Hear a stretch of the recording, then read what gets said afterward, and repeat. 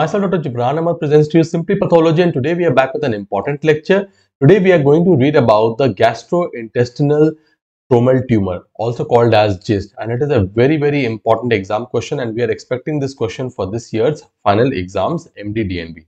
So what are the objectives of this lecture? So we are going to go through the basics of the GIST. Okay, what is the etiology? What is the epidemiology? What is GIST? Okay, what are the common sites? Okay, then we are going to go with the gross and microscopic features of GIST followed by immunophenotyping, role of diagnostic molecular pathology. This, this point is very, very, very important. So a recent advanced question based on the diagnostic molecular pathology of GIST can be asked in this year. Along with that, the prognosis of GIST is very, very important. So let us begin.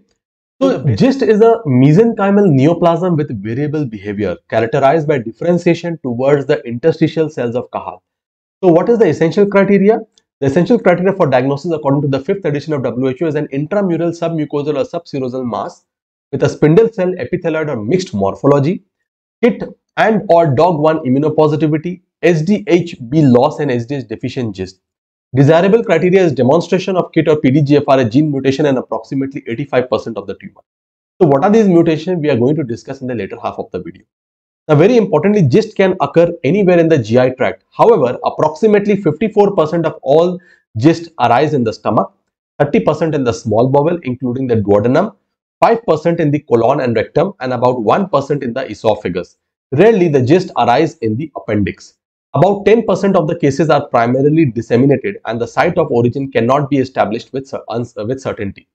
Extra gastrointestinal GIST occur predominantly in the mesentery, omentum and retroperitoneum most probably represents a metastasis from an unrecognized primary or a detached mass GIST from the GI. So clinically, the most common presentation of GIST includes a vague abdominal symptom as well as symptoms related to mucosal ulceration, acute and chronic bleeding, and abdominal mass and tumor perforation. Smaller GIST are detected incidentally while doing endoscopy, surgery or CT. Advanced GIST spread into the peritoneal cavity and the retro, uh, retroperitoneal space and often metastasize to the liver. Bone, skin, soft tissue metastases are infrequently observed, whereas lung metastases, if you see, they are very, very rare. Systemic uh, spread can occur years after detection of the primary tumor. Gastric GIST exhibits a higher local recurrence rate as compared to small bowel GIST. So, GIST which are arising in the small bowel, okay, they have a higher chance of you know, uh, you know, abdominal dissemination and metastasis, whereas the gastric GIST, they are having a higher chance of local recurrence. So, gastric GIST, they exhibit a higher local recurrence as compared to small bowel GIST, uh, uh, uh, which has a higher rate of abdominal dissemination and metastasis. So, gastric GIST, they have a high risk of local recurrence. Uh, small bowel GIST, they have a high risk of abdominal dissemination and metastasis or distant spread.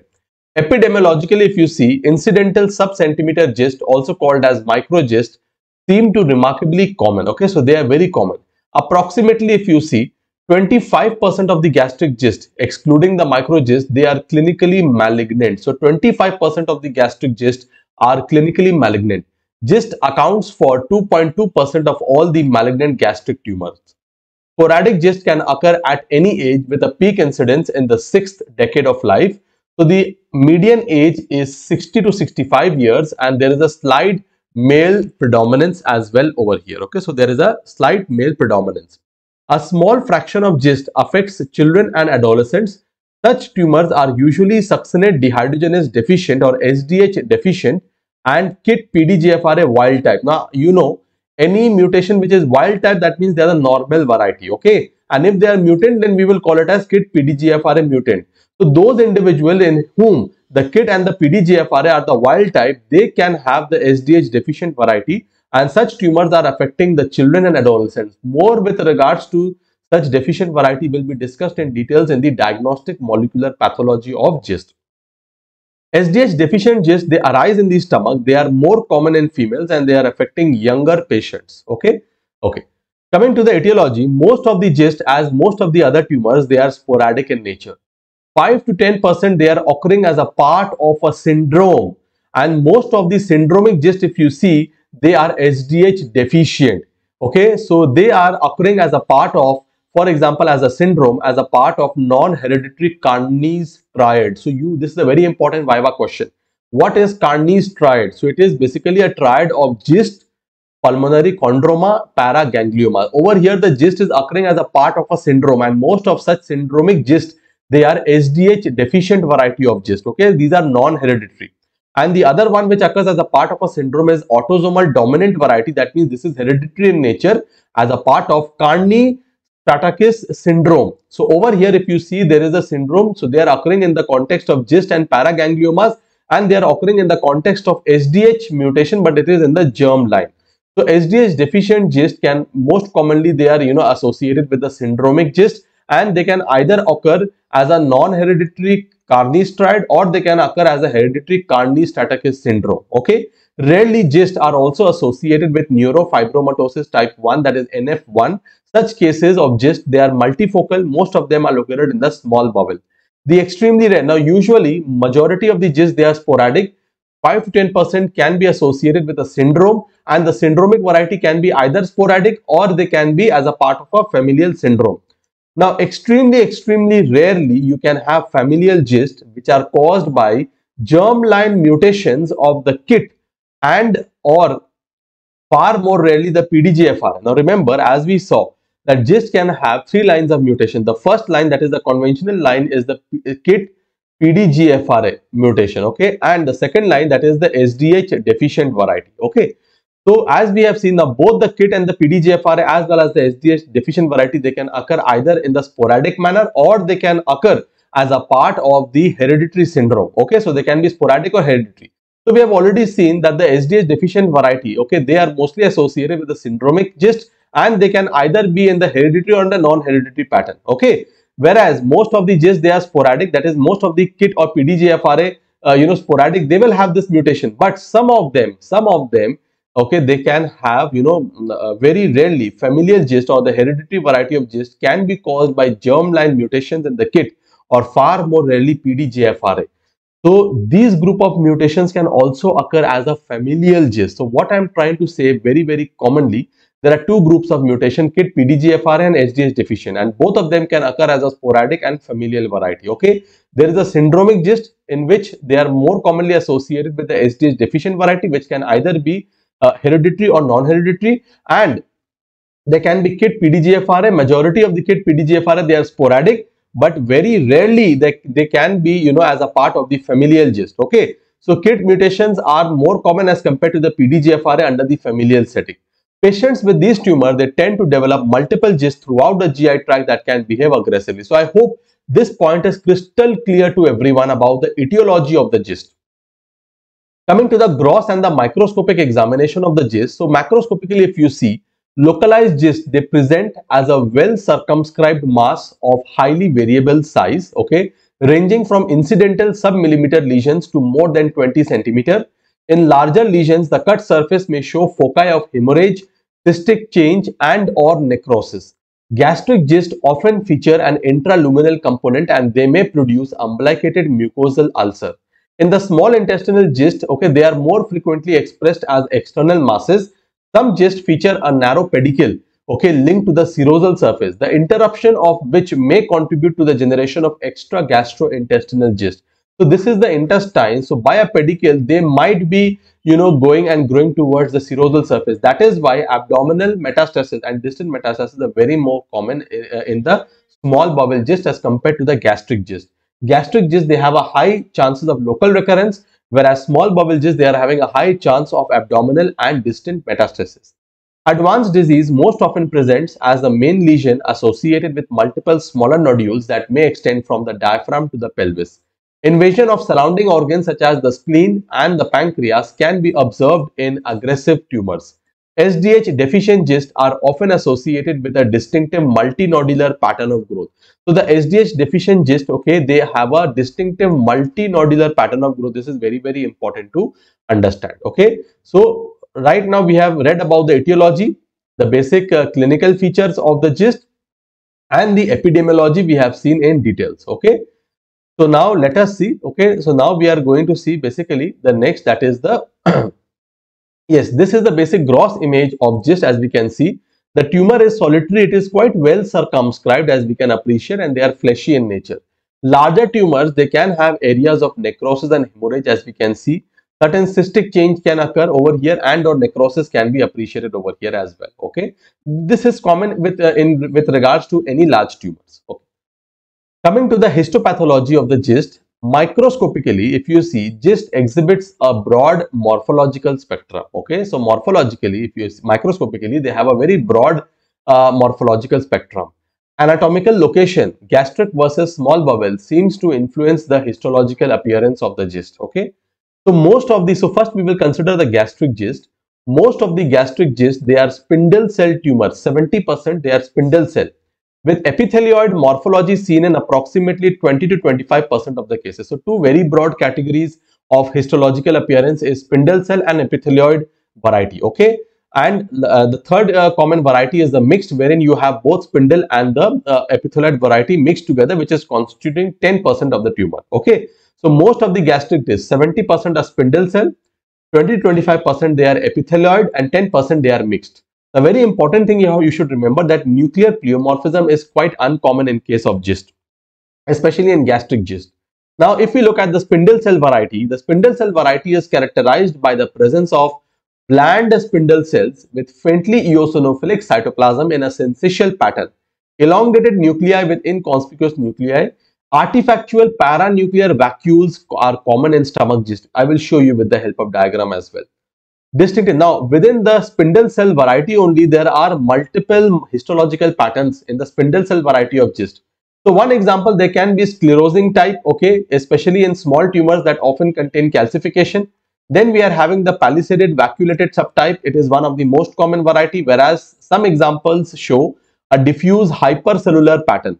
Very rarely, sarcomatoid features with substantial nuclear atypia and high mitotic activity can be observed as well. So what are the distinct subtypes over here? Sclerosing variety, palisaded, vacuolated subtype is there. Diffuse hypercellular and rarely sarcomatoid variety can be there in the spindle cell variety of the gastric GIST. Then we have the other variety which is constituting 20 to 25% of the gastric GIST that is the epithelioid GIST. It is characterized by more rounder cells which is having clear to eosinophilic cytoplasm in sheets or nest. They have increased tendency for pleomorphism as compared to the spindle cell variety of gastric GIST they may show uh, uh, you know distinct kinds of morphological pattern. For example sclerosing discohesive hypercellular pattern or sarcomatous uh, morphology morphology with substantial atypia and mitotic activity. Now myxoid stroma is rarely observed uh, and myxoid stroma is common with the epithelioid gist. So epithelioid gist in comparison to the spindle cell as we can see morphologically they are more round. Secondly very important they tend to be more aggressive compared to the spindle cell variety and myxoid stroma is more commonly encountered with the epithelioid gist as compared to the spindle cell variety of gastric gist. So this is the basic of the microscopic examination of gastric gist. So let us look at the diagram right now. So if you look at the spindle cell variety, it is characterized by the presence of bland spindle cells as we can appreciate over here. The presence of bland spindle cells, faintly eosinophilic cytoplasm as you can appreciate over here. The spindle cells are very bland, faint eosinophilic cytoplasm is there and sometimes they're present in a syncytial pattern as you will you know you, you will be mistaken. You will feel that all the nucleus is clubbed together without any intervening boundaries okay? They have elongated nuclei with inconspicuous nucleolus. Artifactual you can see the perinuclear vacuolation. So around the nucleus there is vacuolation. This is called as perinuclear vacuole, vacuoles. And this paranuclear or uh, vacuole that we see it is actually artifactual and it is more common in the stomach gist as we can appreciate the next uh, common variety of the gastric gist is the epithelioid variety. It is characterized, if you can see the cells, they are more epithelioid, the nucleus is more round, they have a more clear to eosinophilic cytoplasm and they are present in sheets or nest as we can appreciate. Now if you look over here, tendency to pleomorphism and mitotic rate is slightly higher as compared to the spindle cell variety as we can appreciate. So they are more pleomorphic, okay? The, they have more tendency towards pleomorphism compared to the spindle cell type. Rarely, gist may feature. Now remember, in general, gastric gist or usually majority of the gist they have a very bland morphology both in spindle and epithelial, uh, epithelioid variety but rarely a gist may feature a high grade morphology that is associated with a high mitotic count as we can appreciate over here over here also we can see a high mitotic count over here okay so rarely so high mitotic count and an aggressive nature in usual as a whole it is not that common with GIST. Okay, and if it is common, it is seen more commonly in the epithelioid variety. Okay, if you see over, this is a high power view of the epithelioid GIST. They are showing more amount of nuclear crowding, more amount of nuclear pleomorphism, hyperchromasia as you can appreciate, irregular nuclear membrane as we can see over here. Okay, some mitotic figures can be appreciated over here so they are more aggressive in nature and some of them are having more conspicuous nucleoli okay so epithelioid GIST they have a tendency to have a more aggressive uh, you know behavior as compared to the spindle cell variety now we will look at the other types of GIST that is a small intestinal GIST. If we see the small intestinal and colonic GIST are usually spindle cell tumors with diffuse sheets or vague storiform arrangement of tumor cells. The tumor with low biological potential often contains extracellular collagen globules. These are called as skeinoid fibers. Now intestinal GIST they may feature some anuclear areas like for example this is the nucleus over here. In between you will see that there are areas which doesn't contain any nucleus. Okay so this is very much resembling the Verocay bodies of schwannoma. Okay so this area is called the Verocay bodies as we know. Okay so very importantly but very importantly how do you differentiate from schwannoma? These lesions they will be negative for s100 s100 is positive in schwannoma. These lesions will be negative for s100 this is how we differentiate these these intestinal GIST from the uh, uh, schwannoma Rectal GIST most often feature a spindle cell morphology. SDH deficient GIST, if you see, characteristically they will, uh, macroscopically they are multinodular that we have already seen and uh, you know they have a epithelioid morphology typically multinodular with plexiform mural. Mural involvement means that the whole thickness of the of the epithelium is involved. The whole thickness of the gastric wall will be involved or the intestinal wall will be involved com completely. Unlike in the conventional GIST, lymphovascular invasion and lymph node metastasis are quite common in SDH deficient GIST. Now there is some entity that is called as a dedifferentiated GIST. What is that? Very rarely morphological progression to a high grade sarcomatous morphology. As I told you over here also that both with the spindle cell variety as well as with the epithelioid variety they can have a sarcomatous morphology. So initially the tumor might have a bland morphology. Later on they might progress to have a very sarcomatous morphology and that is occurring very rarely and such cases they are termed as dedifferentiated GIST. Usually these are high grade and they are KIT negative and they can be observed either de novo or after therapy with imatinib. Okay, dedifferentiated GIST. We call it as a dedifferentiated GIST. Dedifferentiation can also be associated with heterologous epithelial myogenic or angiosarcomatous differentiation. Okay, so as you can appreciate, this is the small intestinal GIST or the intestinal GIST as I was telling you.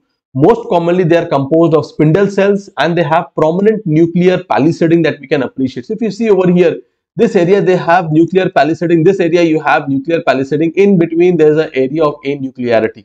Okay, so this is very reminiscent of a schwannoma. Again over here there is a very you know increased nuclear palisading as we can see and this area you can see they are basically not having. Similarly over here there is a increased palisading over here and we can see this is an area of anuclear uh, zones are there. So these are all areas which are anuclear. Okay. So this is basically indicating a neural differentiation. Still, this tumor, if you go for S100 staining, they are negative. Okay. They are negative. Remember this point very common. This is how you differentiate this type of GIST and most commonly intestinal GIST, they show this kind of morphology. Now the presence again be it any variety of GIST, spindle cell or epithelioid. As we can see over here, some amount of nuclear pleomorphism can be appreciated, but nuclear pleomorphism is very rare in a case of a GIST, be it any variety of GIST, be it gastric, small intestinal or be it any uh, morphological pattern. In general, nuclear pleomorphism is very rare in case of a GIST. Coming to the immunophenotyping of GIST, if you see, immunophenotypically, if you see most GIST, they are showing strong and diffuse expression of c-KIT or CD117 they are present in 95% of the cases. And what is the positivity? How does the positivity look like? They are cytoplasmic, membrane associated and sometimes perinuclear dot-like staining is there. However, very small percentage, less than 5%, especially GIST with the PDGFRA mutations may lack the KIT expression or show very limited stage. So 95%